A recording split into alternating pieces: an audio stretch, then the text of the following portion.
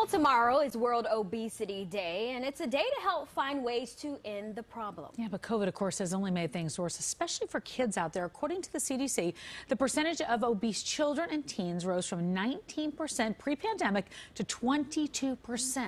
And there's never been a jump that size since the CDC started tracking this in 1970. Uh, so, Michele Levy, she's the founder of Zing Kids, has made it her mission to help kids incorporate movement and mindfulness into their lives. And she's joining us today to talk about ways to teach kids to feel physically and mentally strong. First of all, thank you for being here.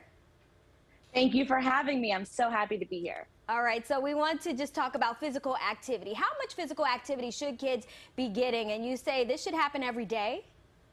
Yeah, kids should be getting active 60 minutes of activity every single day. It doesn't have to be all at once, it could be sprinkled in throughout the day. So they can be doing an activity in the morning before school, after school, in school. All that doesn't have to be all at once, just like how adults, we want to get little bits of activity as much as we can. So it's really important for kids to stay active, especially with everything going on through the pandemic. We want kids to feel healthy and strong, and that's what's really important.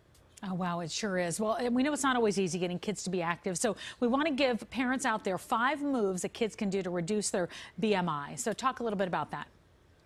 Yes. So, five of my favorite moves I'm going to share today are moves that anyone could do anywhere. And what I love about them is that they help kids to feel really good. So, if they do even just one of these moves, you are going to want to keep moving all day long, which is the key to feeling healthy, especially these days.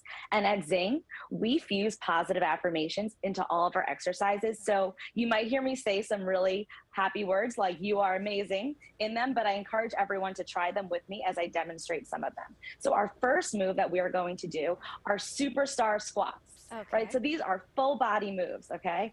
We have superstar squats. I'm going to step back a little bit if you want to join. So you're going to squat down low and put your arms up really big and say, I am a superstar. So we could try that again. so we're going to go down. I, you should join me and say, I am a superstar. I am a superstar.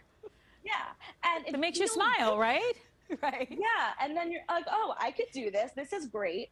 And you get to work your legs, your heart, you feel your heart start pumping. You get your arms out there. So kids could be doing that while they're brushing their teeth in the morning. It's super fun. I also recommend Rockstar Jacks. So these are like your job, your jumping jacks that we all know and love, but turned up a notch. So you kind of get low a little bit. So you get to really fire up your strong leg muscles. And then you jump up and saying, I'm a rock star is the key part. You say one, two, three, I'm a rock star. And you jump up so high. As you can tell, kids love jumping. They want to feel good. It shouldn't be exercise shouldn't be something that they feel like they have to do. It's right. something that we get to do to right. feel good. So we automatically tell them they feel like a rock star. I also recommend doing some skaters. Mm-hmm. So you step to one side and you leap side to side. If, yeah, these are fun. It works your brain too. So if kids get into school, it feels good. If they want to take it up a notch. You can step up and turn it into a party, like turn up some music, make it fun. Oh, yeah. So it's a great time.